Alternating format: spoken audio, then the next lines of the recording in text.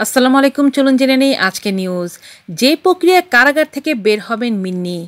বরগুনার আলোচিত রিফা শরীফ হত্যা মামলায় তার স্ত্রী আয়েশা সিদ্দিকা মিন্নিকে জামিনে মুক্তির আদেশ দেওয়ার পর এখনই তিনি কারাগার থেকে বের হতে পারছেন না। এজন্য তার পক্ষে আরও কিছু আইনি প্রক্রিয়া অনুসরণ করতে হবে। ইতিমধ্যে মিন্নির জামিন বিষয় হাইকোর্টের আদেশের বিরুদ্ধে রাষ্ট্রপক্ষ আপিল না করলে দোসরা সেপ্টেম্বরের মধ্যে বরগুনা কারাগার থেকে মিন্নি বের হতে পারবেন বলে আশা করছেন তার আইনজীবীরা। মিন্নির জামিনে মুক্তির বিষয়ে জানতে চাইলে তার হাইকোর্টে নিযুক্ত আইনজীবী জেরাই খান পান্না বলেন, যদি সরকার আপিল না করে তাহলে হাইকোর্টের আদেশ বরগুনার আদালতে পৌঁছানোর পর মিন্নি মুক্তি পাবেন। তাই আগামী সোমবারের অর্থাৎ দোসরা সেপ্টেম্বরের মধ্যে তার মুক্তি মিলবে বলে ধারণা করছে।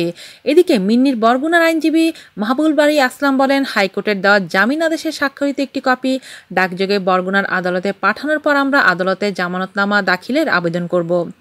বিচারক জামানতনামা গ্রহণ করে কারা কর্তৃপক্ষের কাছে রিলিজ অর্ডার পাঠানোর আদেশ দেবেন। রিলিজ অর্ডার পাওয়া মাত্রই মিন্নিকে মুক্তি দিতে বাধ্য থাকবে কারা কর্তৃপক্ষ। কারাগার থেকে মিন্নির বের হতে আর কোনো প্রতিবন্ধকতা আছে কিনা জানতে চাইলে মাহবুবুল বাড়ি আসলাম বলেন, তার জামিনে মুক্তির আদেশের বিরুদ্ধে রাষ্ট্রপক্ষ চাইলে আপিল করতে পারবে। সেক্ষেত্রে বিচারক মিন্নির জামিন আবেদন স্থগিত, বহাল ও বাতিল করতে পারবেন। সব কিছুই আদালতের সিদ্ধান্তের উপর নির্ভর করছে। এই বিষয়ে জানতে চাইলে বরগুনার জেল সুপার আনোয়ার হোসেন বলেন, শুনেছি হাইকোর্ট মিন্নির জামিন দিয়েছেন। এই বিষয়ে আদালত থেকে আদেশের কপি পেলে আমরা কার্যকর ব্যবস্থা নেব।